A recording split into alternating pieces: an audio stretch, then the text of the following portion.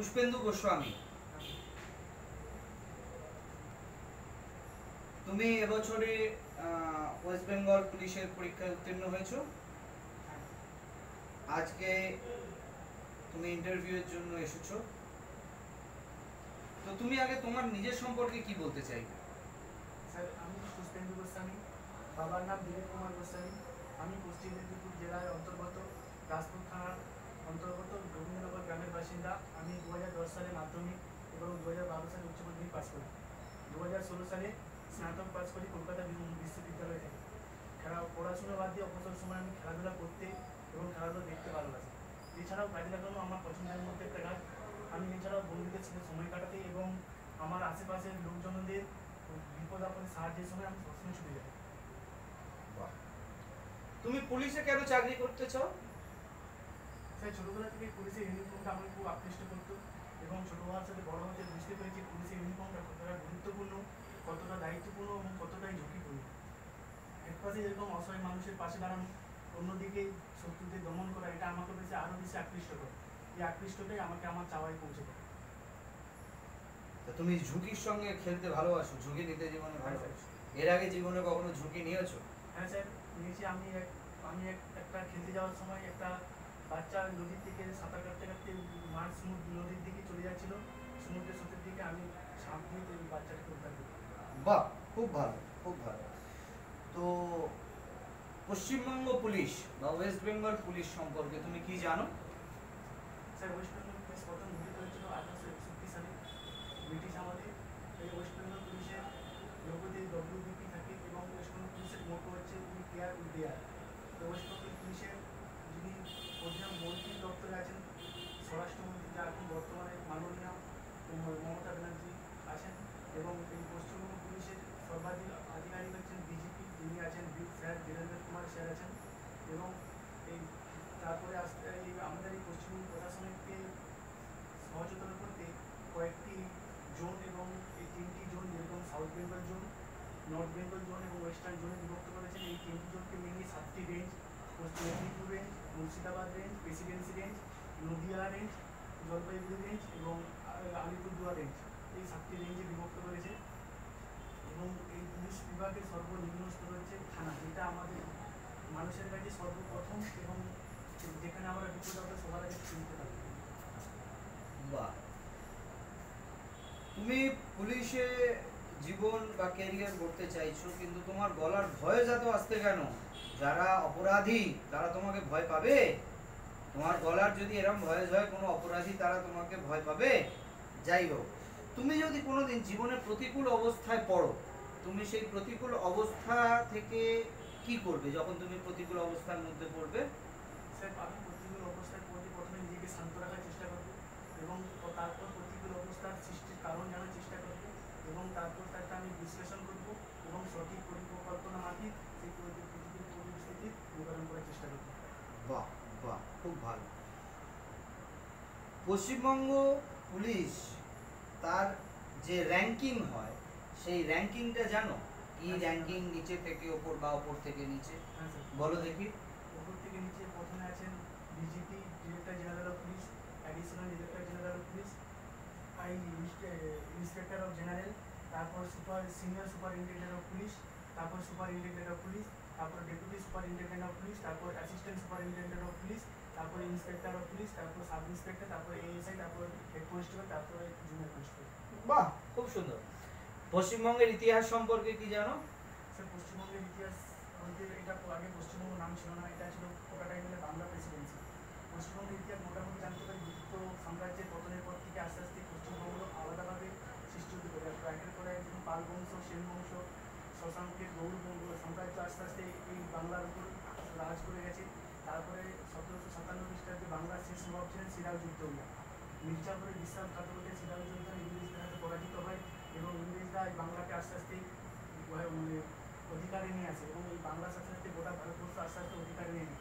এরপর থেকে শুরু হয় ব্রিটিশ বিরোধী আন্দোলন, যা আন্দোলনের বাংলার ছিল এই আন্দোলনের কেন্দ্রগুলি এই ব্রিটিশ বিরোধী আন্দোলনের যেদের নাম না বলে নয়, যিনি ছিলেন নেতাজি সুভাষচন্দ্র বসু, ক্ষুদিরাম বসু ও তারপরে এছাড়াও আরও অনেক দেশদ্রোহী, দেশপ্রেমিক ছিলেন যিনি এই আমাদের স্বাধীনতা সংগ্রামে যে ভূমিকা পালন করেছিলেন। এছাড়াও স্বাধীনতা সংগ্রামের সাথে সাথে বাংলা সেই সময় কুসংস্কারের জন্য ভর্তি হয়েছিল যাদের বিদ্যাসাগর এবং রাজা রামমোহন রায় এছাড়াও আরও কিছু বিরোধীও ছিলেন। এই কুসংস্কার বিরোধী আন্দোলনে ঝাঁপিয়ে পড়েছিলেন এবং এই তারপরে বীর সেনা, বীর দেশপ্রেমিকদের সহায়তা করে দু হাজার উনিশশো সাতচল্লিশ সালে পনেরোই আগস্ট আমাদের দেশ স্বাধীন হয়। এই স্বাধীনতার সাথে সাথে পশ্চিমবঙ্গ, এই বাংলাটাকে বিভক্ত একটা পশ্চিমবঙ্গ গঠিত হয়। একটা বাংলাদেশ যেটি পাকিস্তান নামে ছিল। সেটি গঠিত আসাম কিছুটা অংশে চলে যায় এবং বিহার এবং উড়িষ্যার কিছুটা অংশে চলে যায় পশ্চিমবঙ্গের দ্রাঘিমাংশ অক্ষাংশ কত? পশ্চিমবঙ্গের অক্ষাংশ বাইশ ডিগ্রি চৌত্রিশ মিনিট উত্তর এবং দ্রাঘিমাংশ অষ্ট চুরাশি ডিগ্রি চব্বিশ চব্বিশ হচ্ছে তুমি কোন জেলা থেকে? পশ্চিম মেদিনীপুর। তোমার জেলা সম্পর্কে কিছু জানো? হ্যাঁ কি জানো? সে পশ্চিম মেদিনীপুর জেলা আগে মেদিনীপুর নামে একটা জেলা ছিল। দু হাজার দুই সালে পয়লা জানুয়ারি থেকে মেদিনীপুর জেলাটাকে বিভক্ত করে দুটি নতুন স্বাধীন জেলা তৈরি হয়, একটি পূর্ব মেদিনীপুর, একটি পশ্চিম মেদিনীপুর। পশ্চিম মেদিনীপুর সাধারণত কৃষিভিত্তিক জেলা এইখানে মানুষ, সাধারণ মানুষ চাষবাস করে তাদের জীবনযাপন করে। এছাড়াও কিছু শিল্প কেন্দ্র গড়ে উঠেছে। এছাড়াও পর্যটন শিল্পের ক্ষেত্রে পশ্চিম মেদিনীপুর খুব গুরুত্বপূর্ণ, ঐতিহ্যপূর্ণ কিছু পর্যটন স্থান আছে, যেরকম কিছু দেশপ্রেমিকদের জন্মস্থল এবং মনীষীদের জন্মস্থল এছাড়াও অনেক ঐতিহাসিক স্থান আমাদের পশ্চিমবঙ্গে রয়েছে। পশ্চিমবঙ্গের পর্যটন শিল্প সম্পর্কে কিছু জানা আছে? হ্যাঁ স্যার। এরকম পশ্চিমবঙ্গের পর্যটন শিল্প খুব গুরুত্বপূর্ণ ভারতের মধ্যে বেশ গুরুত্বপূর্ণ শুধু ভারতে নয় গোটা বিশ্বেও পশ্চিমবঙ্গের পর্যটন শিল্পের নাম রয়েছে। যেগুলির কথা নাম বললেই নয় যেরকম সুন্দরবন অভয়ারণ্য ম্যানগ্রোভ অভয়ারণ্য যা বিশ্বের বিশ্বের সবথেকে বড় অভয়ারণ্য। এটি ইউনাইটেড নেশন থেকে দু হাজার উনিশশো চুরাশি সালে সম্মানপ্রাপ্ত পেয়েছিলেন। এছাড়াও দার্জিলিং হিমালয়ান টার্মিনাল রেলওয়ে যেটা উনিশশো নিরানব্বই সালে ইউনাইটেড নেশন থেকে সম্মানিত পেয়েছিলেন। এছাড়াও দার্জিলিং দার্জিলিংয়ের পার্বত্যমালা দীঘার সমুদ্র সৈকত মুকুটমণিপুরের ম্যাসেঞ্জার ব্যারেজ তুমি কি নার্ভাস হ্যাঁ তোমাকে টেন্স লাগছে? মনে হচ্ছে তুমি খুব টেন্সড হয়ে গেছে। তুমি কনফিডেন্ট নাও আত্মবিশ্বাস নাও? হ্যাঁ স্যার আমি সাথে তুমি আত্মবিশ্বাস। তোমার ভয় করে কখন? স্যার আমার মধ্যে যখন অনলাইন বুক কাজ করে তখন আমার মধ্যে ভয় করে। আর তোমার অনুপ্রেরণা কে?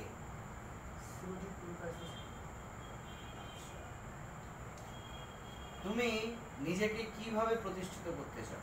স্যার একজন সফল পুলিশ অফিসার হিসেবে প্রতিষ্ঠিত একজন সৎ পুলিশ অফিসার হিসেবে তুমি নিজেকে প্রতিষ্ঠিত করতে চাও তাই তো? হ্যাঁ একটা সৎ পুলিশ অফিসারের কি কি গুণ থাকা দরকার?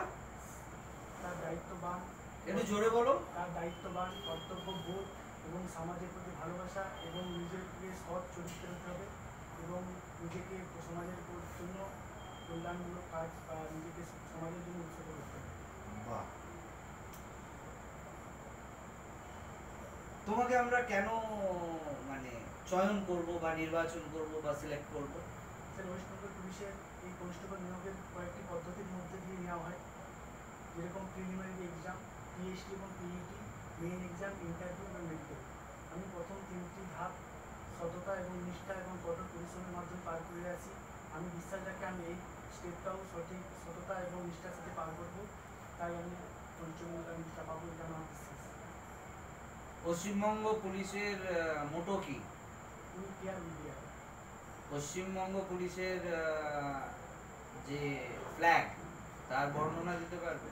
পশ্চিমবঙ্গ ফ্ল্যাগটা আয়তকার থ্রি টু টু অনুপাতে তৈরি। এটা উপরে লাল এবং নিচে কালো ব্লু কালারের রং। এর উপর পশ্চিমবঙ্গ পুলিশের লোগোটা দেওয়া আছে। বর্তমানে পশ্চিমবঙ্গ পুলিশের কমিশনার ডিআইজি ডিজি কে বর্তমানে ডিজিপি আছেন sir Dhirendra Kumar. Kolkata police commissioner আছে অনুজ শর্মা। ডিআইজি আছেন সৌমেন মহাশয় তোমার মধ্যে কি কি দুর্বলতা আছে? স্যার আমার মধ্যে ধৈর্যের দুর্বলতা আছে যখন কোনো অন্যায় এবং যখন কোনো ভুল কাজ হয় আমি নিজেকে ধৈর্য রাখতে পারি। তুমি কোন বিষয়ে সবচেয়ে ভালো? ইতিহাস। ইতিহাস। ইতিহাসের কোন জায়গাটা তোমার সবচেয়ে ভালো লাগে? ভারতের স্বাধীনতা সংগ্রাম।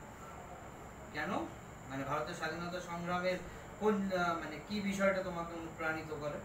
যেভাবে দেশ দেশপ্রেমীরা আমাদের দেশকে স্বাধীনতার জন্য তাদের জীবনকে উৎসর্গ করেছে সেটা আমাকে বেশি অনুপ্রাণিত করে। তোমার শক্তি কি কি? আমার শক্তি আমার নিষ্ঠা আমার নীতি আমার বিশ্বাস আমার ধৈর্য। তুমি সমস্ত অন্য চাকরি না করে বা অন্য চাকরির জন্য না করে পুলিশের চাকরি করতে এলে? চাকরি একটা সবারই একটা চাকরির প্রয়োজন। আমারও ঠিক চাকরির প্রয়োজন কিন্তু অন্য চাকরি পুলিশের চাকরির যে সম্মান যে দায়িত্ব যে জোরে বলো। যে গর্ববোধ আছে সেটা অন্য কোনো চাকরিতে নেই। আচ্ছা। তোমাকে মনে করো তোমার দুজন অফিসার দুটো ভিন্ন ভিন্ন আদেশ করল। একই সঙ্গে, একই সাথে, একই সময়। তো দুজনেই তোমার ঊর্ধ্বতন কর্তৃপক্ষ বা তোমার সিনিয়র বস তো তাদের করা এই দুটো পরস্পর বিরোধী বা দু রকমের, ভিন্ন রকমের যদি আদেশ তোমাকে করা হয়, তুমি কার আদেশটা আগে পালন করো স্যার, সেই দেখতে মধ্যে গুরুত্বপূর্ণ এবং সবথেকে এবং যেটা করলে মানুষের সবথেকে বেশি উপকার হবে সেটা চাই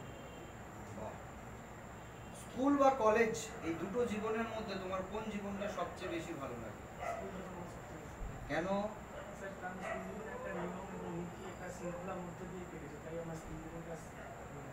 সমাজে পুলিশের দরকার কি আছে। কেন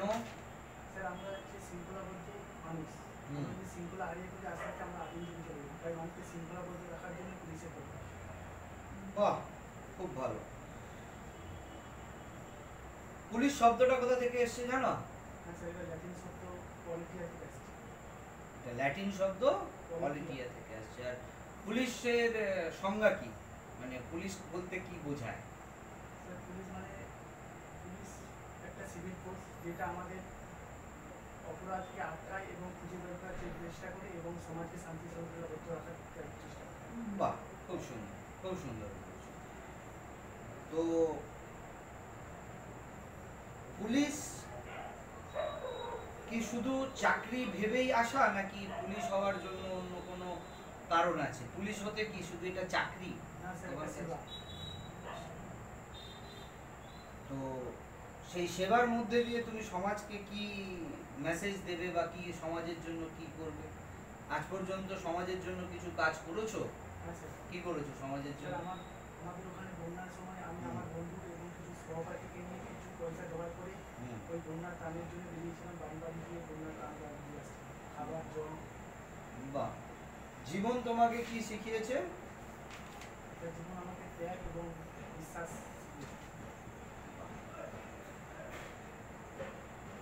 কন্যাশ্রী প্রকল্প কবে শুরু হয়?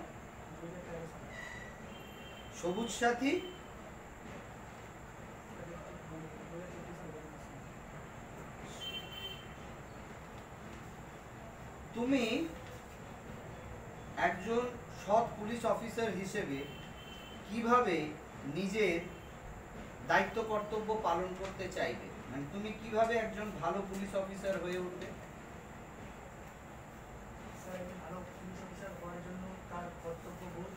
দায়িত্ব এবং সমাজের প্রতি ভালোবাসা এবং নিষ্ঠা থাকার নিষ্ঠা এবং সৎ চরিত্রের হতে হবে তোমার অঙ্ক ভালো লাগে?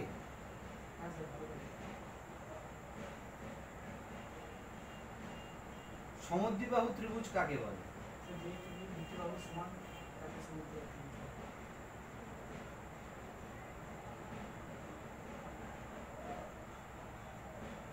তোমাকে যদি একটা শঙ্কু পরিমাপ করতে বলে বা তার যদি পরিসীমা নির্ধারণ করতে বলে, কীভাবে নির্ধারণ করবে? আচ্ছা আয়তক্ষেত্রের পরিসীমা কীভাবে নির্ধারণ করবে? ত্রিভুজের ক্ষেত্রফল কীভাবে নির্ধারণ করবে? 1 বাই 1 বাই 2 যদি কারোর অতিভুজ বার করতে হয় কীভাবে বার করবে?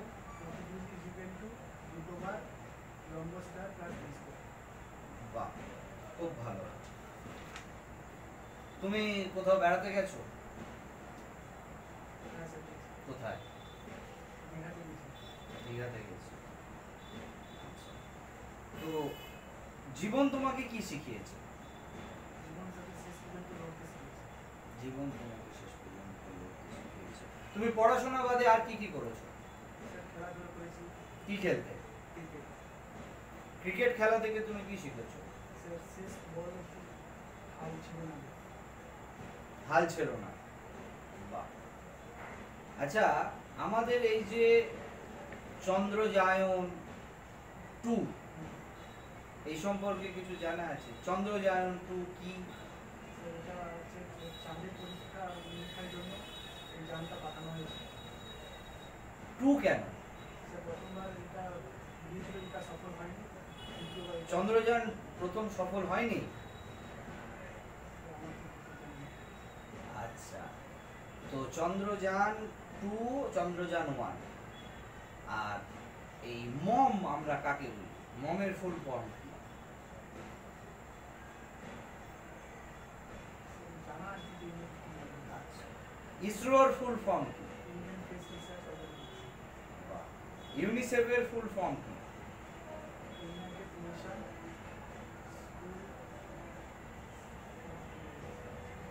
স্কুল আমাদের হু জানো হু হুর ফুল ফর্ম কি? ওয়ার্ল্ড হেলথ অর্গানাইজেশন এর হেডকোয়ার্টার কোথায়? জিনো ইউনাইটেড নেশন বা সংযুক্ত রাষ্ট্র। এর সদস্য দেশ কতগুলি?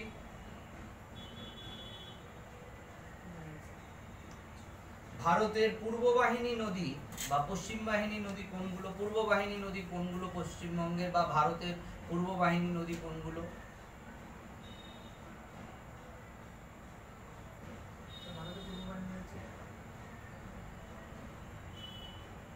কৃষ্ণা নদী পূর্ব বাহিনী একটা নদী পূর্ব বাহিনী কৃষ্ণা গোদাবরী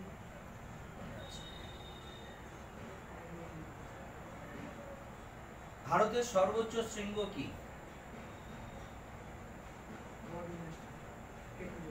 কেটু। কেটুর উচ্চতা কত?